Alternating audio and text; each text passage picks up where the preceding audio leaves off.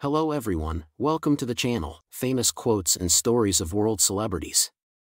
What I share with you today is the 5176th famous saying. The whole of science is nothing but a refinement of ordinary thinking.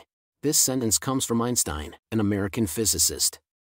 Before the video starts, I hope you will subscribe and share this channel. Thanks. The whole of science is nothing but a refinement of daily thinking. This is a famous saying by the American physicist Einstein. It expresses a scientific concept and also reveals the close connection between science and daily life. Science is everywhere in our lives. It is not only an important driving force for the development of human civilization, but also an important means to solve practical problems.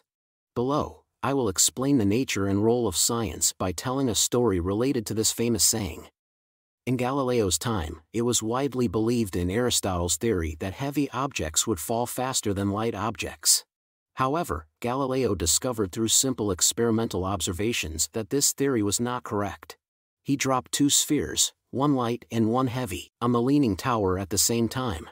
As a result, the two spheres landed at the same time. This experiment is simple but profound through careful observation and thinking of daily phenomena, Galileo refined the laws of free fall motion, overturned Aristotle's theory, and initiated the development of modern physics. This story tells us that science is not far away, it is in our daily lives. The objects of scientific research are various phenomena in daily life. Through careful observation, thinking, and practice, scientists gradually reveal the essence and laws behind these phenomena. Although these essences and laws are abstract, they all originate from our daily lives and are the refinement and sublimation of various things we see and hear in our daily lives.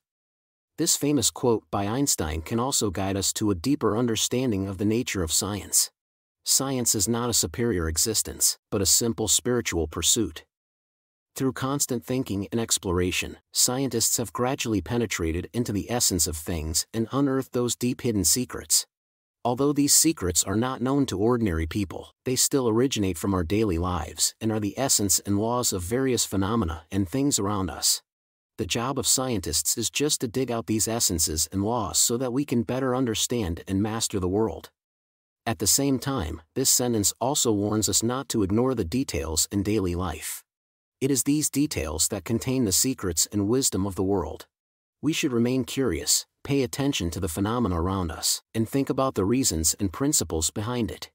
This kind of attention and thinking about daily life is the embodiment of scientific spirit and an important way to cultivate scientific literacy.